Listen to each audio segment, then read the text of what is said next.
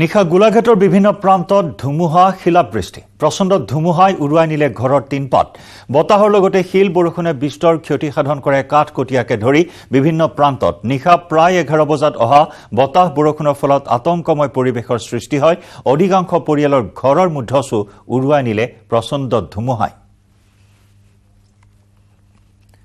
এঘাৰটামান বজাত বতাহ বৰষুণ আহিলে। আহি মানে এনেকে ডাঙৰ ডাঙৰ পাথৰ পৰিছে পৰি মানে গছ গছনি ভাঙি মোৰ গোটেই টিং ঘৰ উৰুৱাই লৈ গৈছে।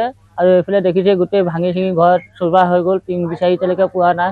চৰকাৰলৈ এইটোৱে জনাইছো আৰু দেখিছে আৰু ভাঙা চিঙি গৈছে সহায় লাগে আৰু। এঘাৰটামান বজাৰ ৰাতি খাই বৈ শুব লৈছোঁ তেনেকুৱাতে প্ৰথমে আহিলে শিল তাৰপৰা ধুমুহা বতাহ উম।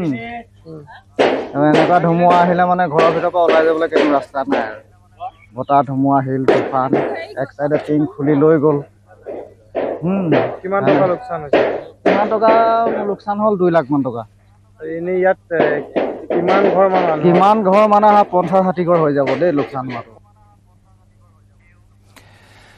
ইফালে নুমলীগড়ৰ ভিন্ন প্ৰান্ততো নিশা শিলাবৃষ্টি আৰু ধুমুহাৰ তাণ্ডৱ। মৰঙী মৌজাৰ ফুলবাৰী মুৰফুলনি বালিজান ফলঙনি শ্যাম ৰায়পুৰকে ধৰি বহু অঞ্চলৰ শ শ পৰিয়ালৰ ঘৰ দুৱাৰ ভাঙি তহিলং কৰাৰ লগতে ফুলবাৰী অঞ্চলৰ বহুকেইখন ব্ৰইলাৰ মুৰ্গীৰ ফাৰ্ম সম্পূৰ্ণৰূপে ভাঙি তহিলং হয়। মুকলি আকাশৰ তলত থাকিবলগীয়া হৈছে বহু পৰিয়াল। পথৰ মাজত গছ ভাগি পৰাৰ ফলত বহু অঞ্চলত যাতায়াত বিচ্ছিন্ন হয়।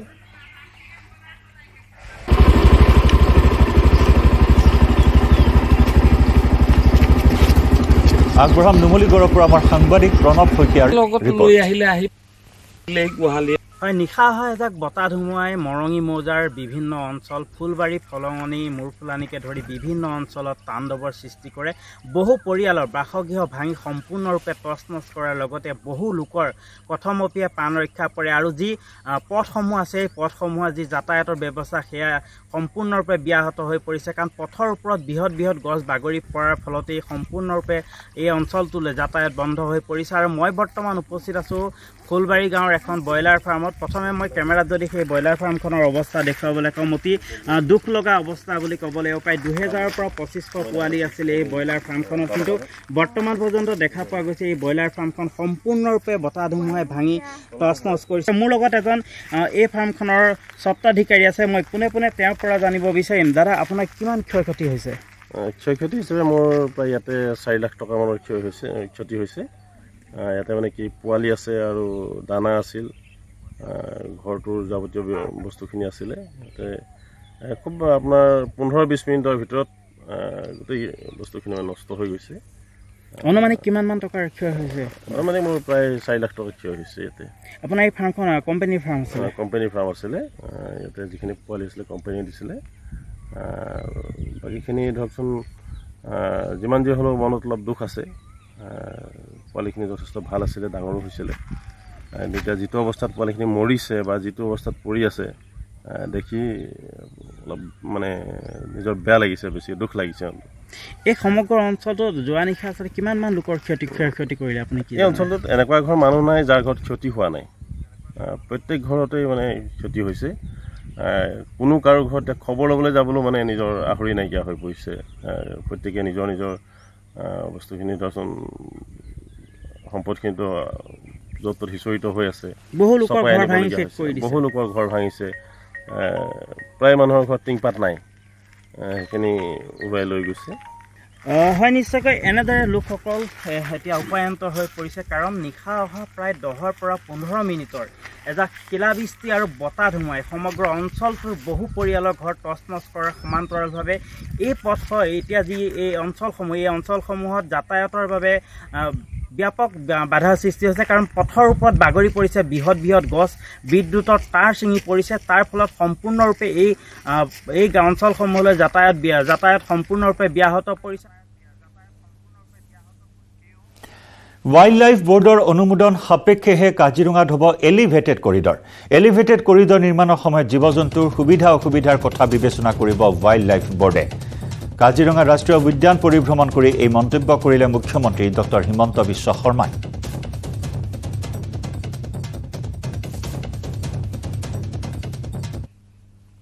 Elevated কৰিডৰৰ national wild life border clearance লাগে। তাৰ প্ৰচেষ্টা চলি আছে। যদি national wild life border clearance হৈ যায় তেতিয়াহ'লে আৰম্ভ কৰাৰ টকা পইচাৰ অসুবিধা নাই। কিন্তু ৱাইল্ড লাইফ বৰ্ডে ক্লিয়াৰেঞ্চ দিয়াৰ আগতে বহুত পৰীক্ষা কৰিব। যে কনষ্ট্ৰাকশ্যন চলি থাকোঁতে কোনোবা জীৱ জন্তু মৰিব নেকি? মেচিনাৰীৰ শব্দত মৰি কিবা অসুবিধা হ'ব নেকি? কাৰণ এটা বহুত ডাঙৰ কাম চলিব। গতিকে তেওঁলোকে বহুতখিনি প্ৰজন প্ৰজ এণ্ড কনছ পৰীক্ষা কৰিব। এতিয়া গোটেই বিষয়টো নেশ্যনেল ৱাইল্ড লাইফ যিখন বৰ্ড আছে তেওঁলোকৰ বিবেচনাত আছে। অসম পৰ্যটনৰ বাবে সুখবৰ। দুহেজাৰ তেইছ বিত্তীয় বৰ্ষত এক কোটি পৰ্যটকৰ অসমলৈ আগমন। বিগত বৰ্ষতকৈ পৰ্যটকৰ সংখ্যা বৃদ্ধি পাইছে অসমত। পাঁচশ পঁয়সত্তৰ শতাংশ বৃদ্ধি পৰ্যটকৰ আগমনৰ হাৰ। টুইট যোগে এই বিষয়ে সদৰি কৰিলে মুখ্যমন্ত্ৰী ডঃ হিমন্ত বিশ্ব শৰ্মাই। অসমৰ পৰ্যটনৰ বাবে সুখবৰ দুহেজাৰ তেইছ বিত্তীয় বৰ্ষত এক কোটি পৰ্যটকৰ অসমলৈ আগমন। বিগত বৰ্ষতকৈ পৰ্যটকৰ সংখ্যা বৃদ্ধি পাইছে অসমত। পাঁচশ পঁয়সত্তৰ শতাংশলৈ বৃদ্ধি পৰ্যটকৰ আগমনৰ হাৰ। টুইট যোগে এই কথা জনালে মুখ্যমন্ত্ৰী ডঃ হিমন্ত বিশ্ব শৰ্মাই।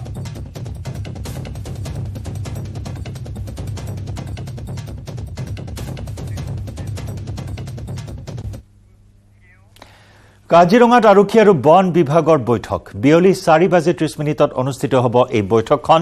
ৰাজ্যৰ আৰক্ষী সঞ্চালক প্ৰধান জি পি সিঙেও অংশগ্ৰহণ কৰিব এই বৈঠকত। কাজিৰঙাৰ দাঁতিকাষৰীয়া জিলাৰ আৰক্ষী অধীক্ষকে অংশগ্ৰহণ কৰিব বৈঠকত। ৰাষ্ট্ৰীয় উদ্যানৰ বিভিন্ন সমস্যাক লৈ এই বৈঠকত আলোচনা কৰা হ'ব। মুখ্যমন্ত্ৰীগৰাকীৰ কাজিৰঙা ছাডেন ভিজিটৰ পিছতে আৰক্ষীৰ তৎপৰতা দেখিবলৈ পোৱা হৈছে।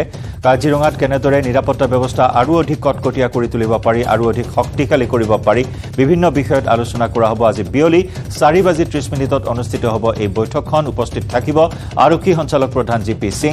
কাজিৰঙাৰ দাঁতিকাষৰীয়া জিলাৰ আৰক্ষী অধীক্ষকে অংশগ্ৰহণ কৰিব এই বৈঠকখনত আৰু ৰাষ্ট্ৰীয় উদ্যানৰ বিভিন্ন সমস্যাক লৈ আলোচনা কৰা হ'ব।